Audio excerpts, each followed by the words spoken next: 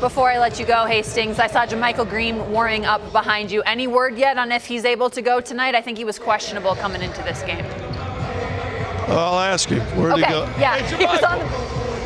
the. hey, JaMychal, you playing? no, he's not playing.